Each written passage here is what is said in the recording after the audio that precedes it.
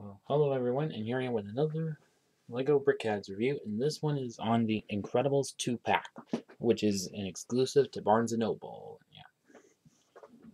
So this comes with Mr. Incredible and Frozone. So on the front of the box here, you see LEGO BrickHeadz logos, the twos that comes within, Incredibles 2 logo, the names and numbers of them, then age limit 10 and up. Set number 41613 has 160 pieces. There's the in film looks of them. And on the back, them looking right next to each other and put them on the bases. And yeah. On to the booklets. There are two separate ones for each brickhead on the back of the first, how to win on the online survey, and then add for the Go Brick Me set. Then for the other one, same or thing, but add for LEGO Life app, and the pieces included with the set.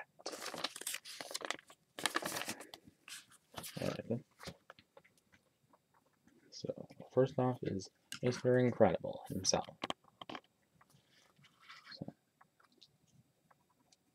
See faceplate just about like the other brickheads.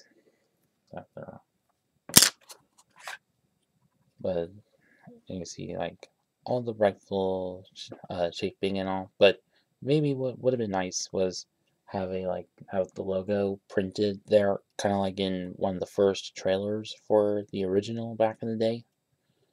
But but also a printed brick piece, but with the symbol on it, quite nicely done and then so what else? Uh, also the like black for the mask which of course is a common sign. And then the uh, and the hair of which kind of darkish blonde which I think could have been brighter but I think well you can make it bright if you want and yeah does, does some like nice shaping above and yeah. And that is it for Mr. Incredible. And on to Frozone. Of course, voiced by Samuel Jackson in these films.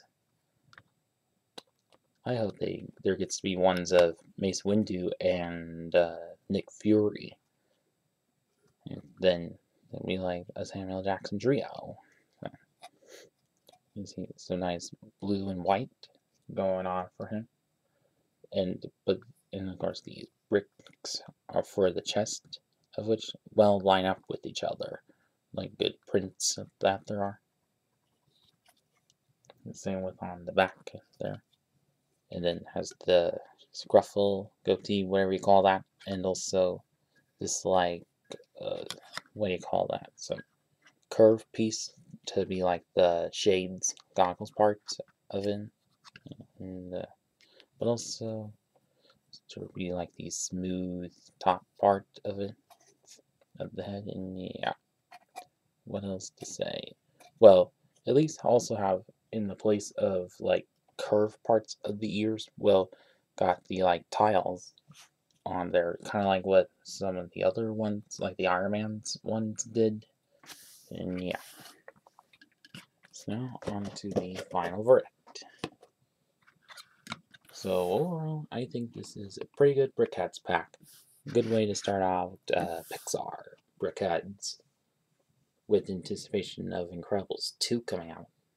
Well, and if you're looking to continue your collection of the BrickHeadz, then go ahead and pick this up. And that is it with this video. Please like, comment, and subscribe, and thanks for watching.